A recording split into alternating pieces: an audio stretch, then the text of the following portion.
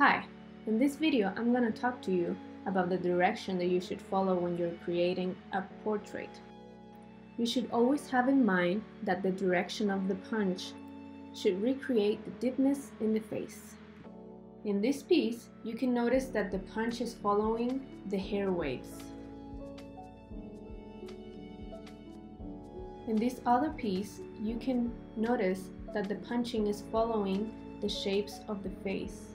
It's following the cheek, it's following the jaw, it's following the nose.